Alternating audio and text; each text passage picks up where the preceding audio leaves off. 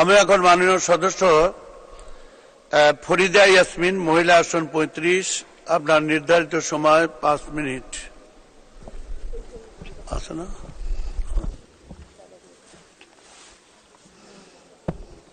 ধন্যবাদ মাননীয় স্পিকার। আপনাকে অভিনন্দন, দ্বিতীয়বারের মতো ডেপুটি স্পিকার নির্বাচিত হয়। অভিনন্দন আমাদের স্পিকার, যিনি চতুর্থবারের মতো এই সংসদে স্পিকার নির্বাচিত হয়েছেন। আমি আমার বক্তব্যের শুরুতে জাতির পিতা, হাজার বছরের শ্রেষ্ঠ বাঙালি, বঙ্গবন্ধু শেখ মুজিবুর রহমানের স্মৃতির প্রতি গভীর শ্রদ্ধা জানাই। আমি শ্রদ্ধা জানাই জাতীয় চার নেতা সৈয়দ নজরুল ইসলাম, তাজউদ্দিন আহমেদ, এম মনসুর আলী এবং কামরুজ্জামানের প্রতি। আমি শ্রদ্ধা জানাই, গভীর শ্রদ্ধাভরে স্মরণ করি, তিরিশ লাখ শহীদ, শহীদদের রক্তে আমাদের যে স্বাধীনতা অর্জন হয়েছিল। আমি গভীর শ্রদ্ধাভরে দুই লাখ মা বোনের, মা বোনকে স্মরণ করছি, যারা সর্বোচ্চ ত্যাগ স্বীকার করেছিল আমাদের মহান স্বাধীনতার জন্য।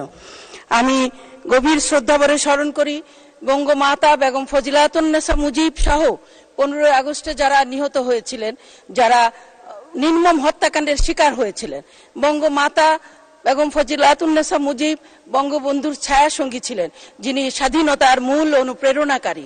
যিনি বঙ্গবন্ধুর সমস্ত কর্মকাণ্ডে তিনি পেছন থেকে তাকে সার্বক্ষণিক ছায়ার মতো সহযোগিতা করেছেন। আমি শ্রদ্ধা জানাই তেরো জন শহীদ সাংবাদিক সাংবাদিক সেলিনা পারভিন, সাংবাদিক শহীদুল্লাহ কাইসার সিরাজউদ্দিন হোসেন সহ তেরো জনকে। আমি শ্রদ্ধার সঙ্গে স্মরণ করি, মুক্তিযুদ্ধে একজন মুক্তিযোদ্ধা শেখ কামাল এবং শেখ জামাল, ছোট্ট শিশু রাসেল সহ সেদিন নির্মমভাবে পনেরোই আগস্ট যাদেরকে হত্যা করা হয়েছিল। আমি স্মরণ করি, ভাষা আন্দোলনের সকল শহীদদের উনিশশো আটচল্লিশ সালে যে ভাষা আন্দোলনের সূচনা হয়েছিল, সেই আন্দোলনের নেতৃত্বে ছিলেন বঙ্গবন্ধু শেখ মুজিবুর রহমান। এবং উনিশশো আটচল্লিশ সালের ভাষা আন্দোলনের পথ ধরেই আমাদের আজকের স্বাধীনতা, আমাদের স্বাধীনতার প্রথম সোপান ভাষা আন্দোলন। আমি আজকে মাননীয় প্রধানমন্ত্রী বঙ্গবন্ধু কন্যা শেখ হাসিনাকে অনেক অনেক কৃতজ্ঞতা জানাই, ধন্যবাদ জানাই, অভিনন্দন জানাই। তিনি পঞ্চমবারের মতো বাংলাদেশের সরকার প্রধান হয়েছেন।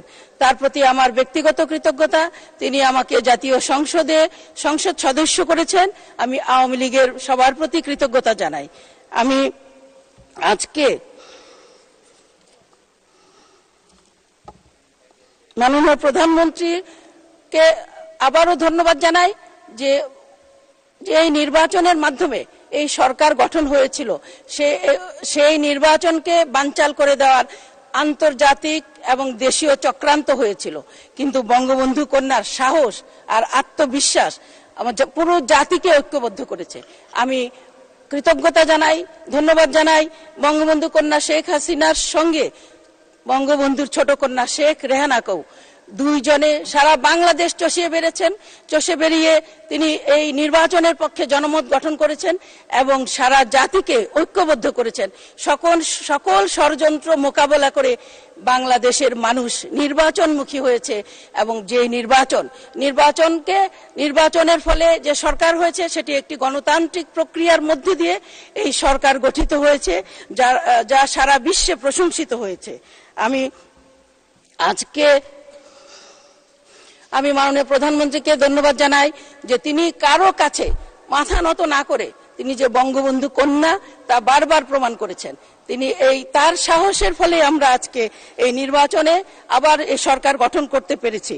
এই আজকে আমি বঙ্গবন্ধুর আজকে যে, জাতীয় সংসদে রাষ্ট্রপতি, মহা- মহামান্য রাষ্ট্রপতির ভাষণের উপর আলোচনা করার প্রস্তাব দেওয়ার জন্য, আমি আলোচনা করার সুযোগ দেওয়ার জন্য আপনাকে ধন্যবাদ জানাই যে রাষ্ট্রপতি তার ভাষণে গত পনেরো বছরের যে নির্বা গত বছর, পনেরো বছরের সরকারের যে উন্নয়নের ধারাবাহিকতার কথা তিনি বলেছেন এবং সামনে যে উন্নয়নের পরিকল্পনার কথা বলেছেন।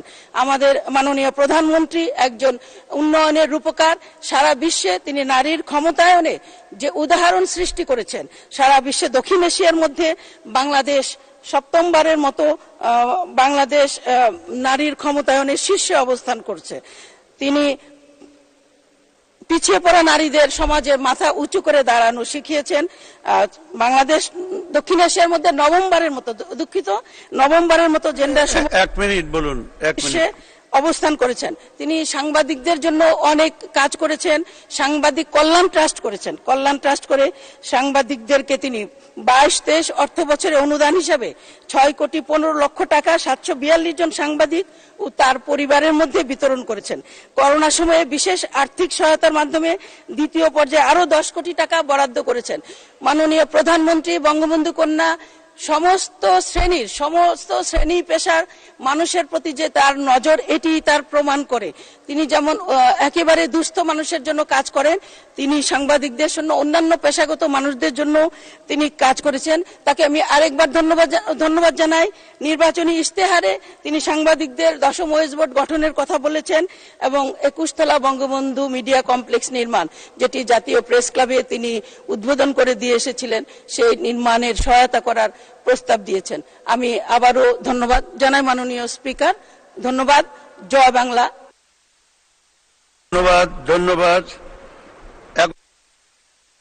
এখন- বক্তব্য রাখবেন